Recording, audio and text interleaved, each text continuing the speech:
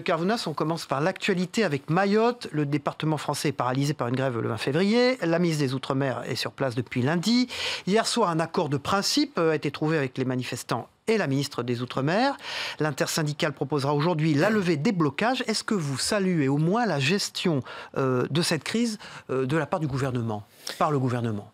Bon, visiblement, on est en train de trouver une issue. C'est d'abord et surtout très bien pour très récent, hein, les Mahorais. Hein. je rappelle que la Mayotte, c'est un département français. Et euh, comme tout département français, nos compatriotes ont droit à la sécurité, à des conditions d'insertion sociale, d'éducation pour leurs enfants les mêmes partout. Moi, je constate juste une chose, c'est que le gouvernement a attendu combien de temps pour euh, dépêcher un, ministre? Plus de trois semaines. Et on envoie le ministre des Outre-mer, la ministre des Outre-mer en l'occurrence, qui essaye de faire le job. J'aurais aimé voir euh, se déplacer à Mayotte euh, le ministre de l'Intérieur ou le ministre de l'Éducation nationale accompagné. Oui, mais peut-être a-t-on envoyé justement la mise des Outre-mer pour ne pas monter d'un cran. Au fond, elle, a, résolu une partie du problème. Non, non, moi je crois que euh, l'État aurait dû envoyer un message fort en envoyant un ministre d'État du rang de Gérard Collomb pour dire euh, que les Mahorais euh, sont traités comme une urgence par la République française. Pour finir sur ce sujet, Laurent Wauquiez, pour une réforme du droit du sol à Mayotte, vous aussi? Mais Laurent Wauquiez, il vous fait encore une fake news. Il recommence. Non, mais il faut qu'il arrête. Euh, je vais vous dire un truc euh, qui est tout simplement la réalité. Euh, le droit du sol, ça n'a pas de rapport avec la nationalité. Autrement, vous pouvez naître à Mayotte et avoir la nationalité française, même si vous êtes de parents étrangers, comme rien en l'occurrence, mais qu'à partir du moment où vous attestez au euh, service euh, de nationalité française que vous avez séjourné sur le territoire national ou vous outre-mer entre l'âge de 11 ans et 18 ans et vous en faites la demande. Donc Laurent Wauquiez, il dit n'importe quoi. Et, il dit n'importe quoi, vous savez pourquoi? Il dit n'importe quoi parce que Laurent Wauquiez passe son temps à faire des clins d'œil au Front National qui a fait son congrès euh, week-end dernier. Donc les fake news et les bullshit de Wauquiez, ça va. On va changer de sujet, euh, Luc Carvounas. On va parler de la réforme ferroviaire. Au menu du Conseil des ministres aujourd'hui, la validation du recours aux ordonnances pour réformer la SNCF. Philippe Martinez, le leader de la CGT, était hier soir à Matignon, reçu par Édouard Philippe. Il dit que le Premier ministre a choisi l'affrontement. Est-ce qu'il a raison? Bah oui. Écoutez, ce qui est peu dit sur cette réforme de la SNCF, c'est que Emmanuel Macron, qui ne cesse de dire, mais moi je fais ce que j'ai dit dans mon programme à la campagne présidentielle. Il n'a jamais parlé de la SNCF, il n'a jamais parlé de ce fleuron national euh, de l'ordre du patrimoine national qui appartient aux Françaises et aux Français. Pourquoi? Parce qu'il euh, oublie de rappeler à ceux qui nous regardent euh, qu'il y a une dette de 47 milliards à l'entreprise. Et qu'aujourd'hui, le président de la République, qui souhaite à nouveau faire un clin d'œil à la Commission de Bruxelles et Angela Merkel, considère que la dette publique va être portée par les usagers au travers d'une privatisation, va enlever les 47 milliards des fameux 3%, parce qu'elle est là la, vraie question, le vrai sujet, c'est encore un sujet comptable. Et on a un président de la République qui fait ordonnance pour le Code du travail, ordonnance pour la SNCF, en écrasant le poids du Parlement et du euh, dialogue euh, institutionnel, juste pour faire toujours le bon élève dans le couple franco-allemand et sur la Commission de Bruxelles. Le statut des cheminots ne peut pas être la variable d'ajustement euh, de la Mais est-ce qu'elle n'était pas indispensable, cette réforme de la SNCF mais moi, j'en sais rien. J'entends des ministres. Écoutez, euh, je vois des ministres. Franchement, Florence Parly, qui a été directrice générale de la branche voyageurs, euh, Madame Borne, qui est la ministre des Transports, qui entre 2002 et 2007 a été la directrice euh, stratégique de la SNCF et qui aujourd'hui ont le culot à l'Assemblée nationale de nous dire que tout ça, depuis longtemps, ne fonctionne pas. Enfin, fallait nous le dire un peu plus tôt. Hein. Donc aujourd'hui, il y a une mobilisation parce qu'encore une fois, Édouard Philippe qui arrive en nous disant euh, lors de sa conférence de presse, je ne prendrai pas du rapport de M. Spinetta euh, les, la suppression des 9000 km de lignes. C'est quoi encore cette fake news?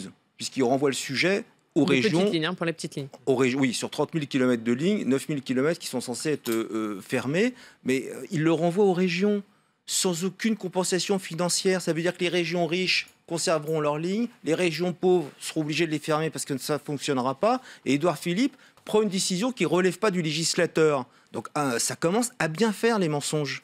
Est-ce que vous pensez que le, mouvement social qui est en train de naître autour de, de cette réforme, euh, ce, pacte ferroviaire, est susceptible de, donner naissance à un mouvement de grande ampleur, comme on l'avait vu en 95 Écoutez, vous, vous, savez, on va peut-être en parler dans le cadre du Congrès. Cela m'a donné euh, l'envie et la nécessité de faire un tour de France. Donc j'ai pu voir en même temps que j'allais euh, échanger avec les militants, discuter aussi par ailleurs avec des élus, des syndicats. J'ai vu le ras-le-bol. Il y a un ras-le-bol dans la question du déclassement aujourd'hui en France, euh, et pas seulement dans le périurbain, dans le rural. J'étais la semaine dernière dans le Puy-de-Dôme, aux côtés euh, euh, de maires ruraux qui voient leur fermeture de classe. Et donc ce ras-le-bol, il commence à s'exprimer et certainement à se concentrer aussi sur ce qui est notre patrimoine national, ce que je rappelais, hein, la SNCF. en tous les cas, le Parti socialiste, il est très clair. Il appelle à manifester avec les syndicats le 22 mars. Hier soir, nous étions en débat, euh, les quatre candidats, euh, nous avons pris l'engagement de défiler ensemble. Nous allons nous mobiliser. Ça suffit, cette brutalité, où par ordonnance, un président seul dans son bureau décide de tout pour tout le monde et qu'à chaque fois on ait ces porte-paroles qui sont en train de nous expliquer euh, que finalement ils ne font que ce pourquoi ils ont été élus. C'est pas vrai. On pas, on n'a pas élu Emmanuel Macron avec 66% au deuxième tour pour détricoter le modèle social et les services publics français. On l'a élu pour faire barrage au Front National. Édouard Philippe termine aujourd'hui, euh, Luc Carvounas, les consultations des groupes parlementaires euh, dans le cadre de la révision constitutionnelle, en recevant François Drugy, le président de l'Assemblée nationale, et Gérard Larcher, le président du Sénat. Est-ce que ces consultations ont été utiles, selon vous? Bah, c'est toujours utile euh, quand est annoncée une révision constitutionnelle que les groupes politiques, les présidents soient, soient reçus. Moi, j'ai été étonné le 30 janvier dernier quand euh, Emmanuel Macron nous a tous invités pour euh, son discours aux forces vives. Il ne s'est adressé ni au bureau de l'Assemblée nationale ni du Sénat, encore moins il n'a cité une seule fois le président de l'Assemblée nationale ou le président du Sénat qui était en face de lui. Donc c'est une drôle de conception d'accueil pour ses voeux. Bon, une petite parenthèse, mais ça en dit long sur euh, son rapport aux institutions, son rapport aux élus. Finalement, lui, il est, il est là. Son mépris du Parlement vous irez Oui, il y, a un vrai mépris euh, du Parlement. De toute façon, Emmanuel Macron, il n'aime pas les élus, il n'en a jamais été. Il n'aime pas le paritarisme, on l'a démontré dans, le propos. Alors, vous, euh, étiez surpris? Oui, non, moi, ce que je, je, vais peut-être vous étonner, mais en même temps, j'ai porté des travaux sur la question de la révision constitutionnelle. Moi, je ne suis ni contre une diminution du nombre de parlementaires. Je ne suis ni contre la proportionnelle. D'ailleurs, j'ai écrit dans un ouvrage que je souhaitais la proportionnelle intégrale. J'ai vu que Jacques Lang prenait cela aussi la semaine dernière. Et je ne suis pas pour euh, le non-cumul dans le temps à trois mandats, mais à deux mandats. Mmh. Pour Donc vous voterez cette réforme? Non. Voilà ce que je défends. Mais j'ai toujours défendu ces trois sujets-là avec deux autres dont on ne parle jamais. Les moyens alloués au nouveau Parlement, tel qu'on veut le dessiner, on dit le, on dit le, périmètre, mais on ne donne pas les moyens. Pas très populaire. Ça. Voilà. Ben oui, mais à un moment donné, c'est la démocratie.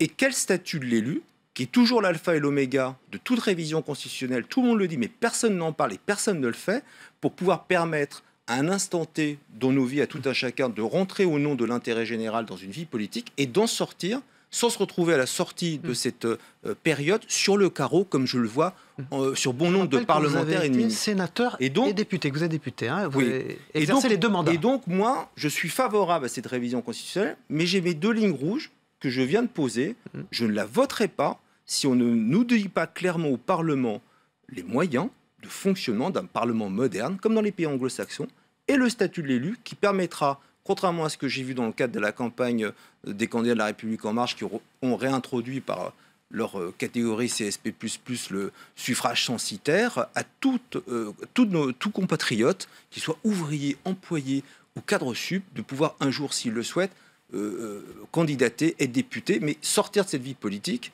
pour retourner dans la vie professionnelle. Ah. Aujourd'hui, aucune passerelle n'est faite. Aucune. Donc demain, le, vote des militants a lieu demain, pardon.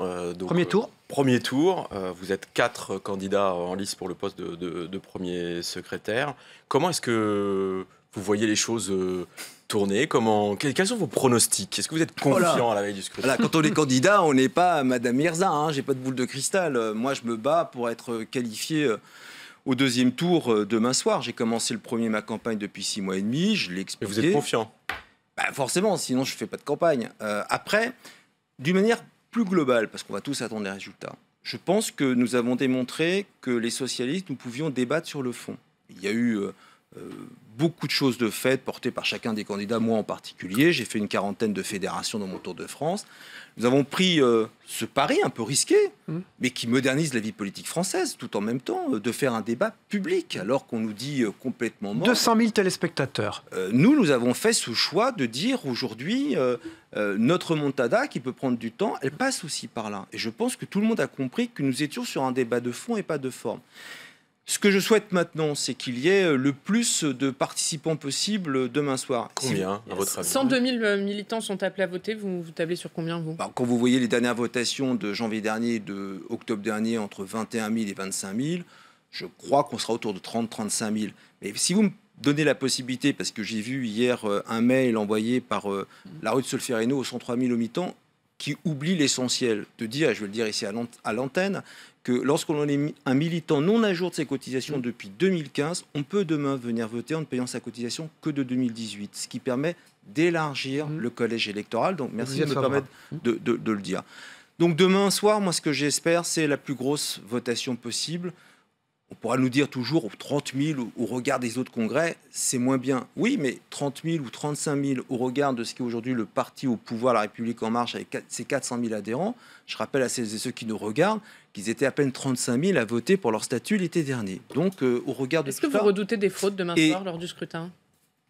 En tout cas, j'ai apporté euh, le débat euh, dans les Bouches du Rhône avec euh, Olivier Faure, parce qu'il y a un vrai risque là-bas. Nous avons été alertés l'un et l'autre par nos mandataires départementaux.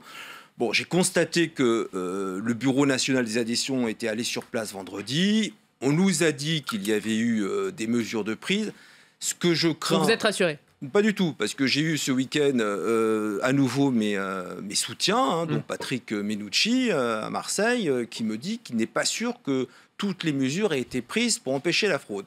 Donc je le redis ici à l'antenne, donc on va, j'imagine, être très attentif pour que tout se passe bien, parce que l'intérêt de ce qui est en train de se passer, c'est qu'on rejoue pas euh, business as usual avec les congrès de Reims ou les congrès où on s'envoie euh, des, euh, des, des, euh, des expressions euh, en disant t'es un fraudeur, t'es un tricheur. Moi, ce que je souhaite, c'est encore une fois que beaucoup de, gens, beaucoup de militants votent demain. Puis franchement, si on finit cette semaine avec beaucoup de militants, un beau, de beaux débats, et l'élection de Joël Aviragne est dimanche parce qu'il a fait lui le rassemblement de l'Union de la gauche, et d'ailleurs il a réussi à le faire, ce rassemblement de l'Union de la gauche, parce que comme moi, il est un des rares députés à avoir voté contre le discours de politique générale d'Édouard Philippe, et que quand on est clair politiquement, hein, et ben, on est entendu par l'électorat de gauche, et ben, je crois que le PS euh, posera une bonne pierre à son édifice. Le, le fait que Rachid Temal, le coordinateur du PS, ait pris position pour un, un candidat, en l'occurrence Olivier Faure, est-ce que ça vous a surpris? Vous trouvez ça normal ou c'est- un incident? Vous C'est- Je- non, c'est pas un incident. Je trouve euh, que ce congrès a changé un peu les. On s'attendait quand même à une certaine neutralité de sa part. Bah, c'est pas on s'attendait, il fallait une neutralité. Alors, Euh, qu'est-ce qui mais oui, mais on a- on a- vous avez bien vu qu'on a changé un peu les pratiques dans ce congrès. Hmm. Euh, à l'époque de Martine Aubry, quand elle a été candidate aux primaires, elle s'est mise en sommeil euh, de ses fonctions. euh, dans les primaires récentes, Manuel Valls était Premier ministre, il a démissionné. Hmm. Moi, le jour où j'ai été candidat le 30 novembre, le 1er décembre, j'envoyais un courrier à la direction collégiale pour dire je ne peux pas être jugé parti. Et ce que je vois aujourd'hui, Harlem Désir n'a pas été jugé parti au moment des primaires. Et là, je vois, et je regrette, parce que Rachid Temal a fait un bon boulot de coordinateur, de venir un peu gâcher la fin de, de son travail en sortant de sa neutralité. C'est une plus, faute politique? C'est une, euh, c'est une erreur politique ouais, de sa part. Il aurait dû rester neutre. Aujourd'hui, jusqu'au 29 janvier, qui va s'exprimer? Le coordinateur, le soutien d'Olivier Faure, comme je disais d'ailleurs, que Olivier Faure aurait dû lui aussi se mettre en retraite de sa fonction de président de groupe, pas de, se- pas de démissionner, mais Il n'a pas réussi à préserver l'unité de ce groupe quand même, Olivier Faure, pendant cette campagne. Vous étiez trois députés Ah, candidats. excu- Excusez-moi, je crois qu'on l'a tous réussi. C'est pas une personne en particulier. euh, c'est que euh, les euh, trois députés, on était quatre avec Delphine Bateau, on a souhaité avec une intelligence collective que le Congrès ne vienne pas dans, le, dans, dans nos travaux au groupe. Mm. Mais il n'empêche, moi je l'ai toujours dit, quand on est candidat et président de groupe, qui s'exprime Le candidat ou le président du groupe? Je trouve que quand on veut changer les pratiques, il faut être moderne tout de suite et pas attendre d'être élu.